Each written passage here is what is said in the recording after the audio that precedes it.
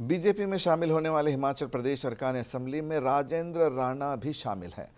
राजेंद्र राणा ने हमारे नुमाइंदा गुलीशा से बात की और कहा कि कांग्रेस हुकूमत में उनकी बात नहीं सुनी जा रही थी और वो इसी वजह से उन्होंने नाराज़ होकर कांग्रेस का साथ छोड़ दिया। राजेंद्र राणा जी इस वक्त हमारे साथ हैं। पहले भी बीजेपी में थे और घर वापसी अब आपकी हो चुकी है और ऐसे में दोबारा से जब वापस आए हैं तो किस तरह से कांग्रेस से नाराज़गी थी जो आपने कांग्रेस छोड़ के दोबारा से ये कहेंगे कि 12 साल का डेपुटेशन पूरा हो गया है। डेपुटेशन खत्म होते ही घर वापसी हो गई है।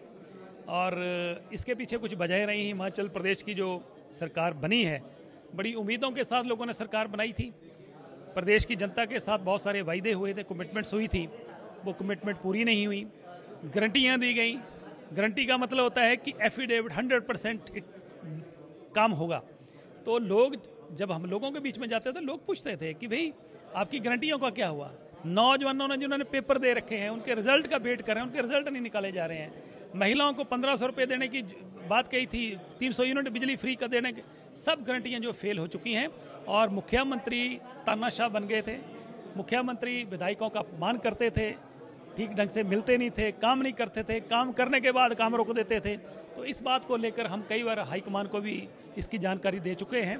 आज हिमाचल प्रदेश सरकार पूरी तरह वेंटिलेटर पे है। और देश में कांग्रेस की जो हालत है, वो पूरी तरह पॉलिटिकल डिजास्टर हो चुका है।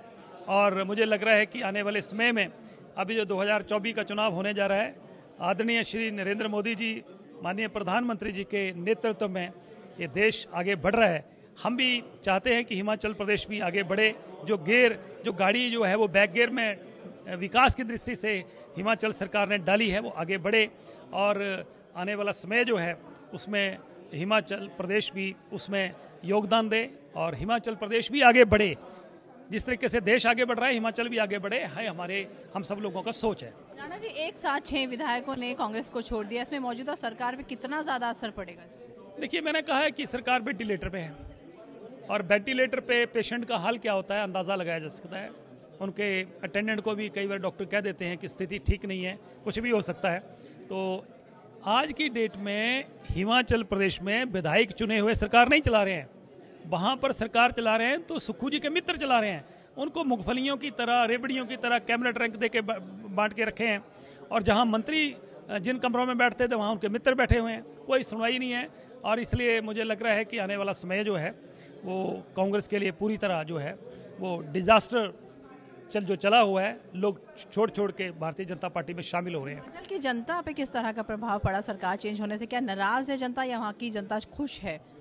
देखिए हिमाचल प्रदेश की जनता मैंने कहा कि जिस उम्मीद जिस उम्मीद के साथ ये सरकार बनाई थी उम्मीदें पूरी नहीं हुई। और आज आप चुनाव होंगे तो पूरी तरह अठासठ के अठासठ विधानसभा क्षेत्रों में कांग्रेस का पूरी तरह सफाया होने वाला है। हमसे बात करने के लिए थे हमारे साथ राजेंद्र राणा मुंसिफ टीवी के लिए गुली शाह दिल्ली।